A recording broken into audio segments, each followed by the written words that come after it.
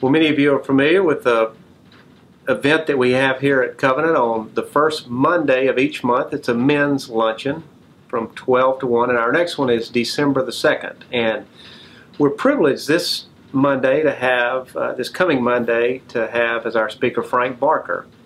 He's got a great testimony and one that I hope you'll make the time to come and hear.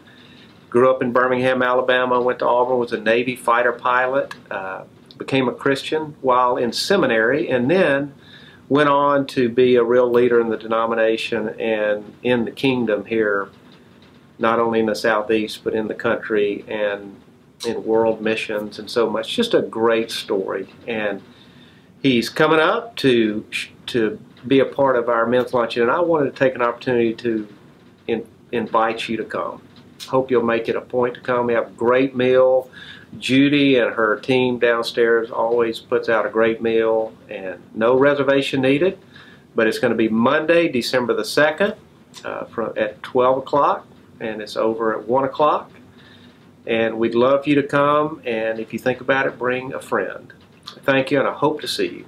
And if you have questions, please call me. I'm Billy Barnes, and you can call me here at the church. Thank you.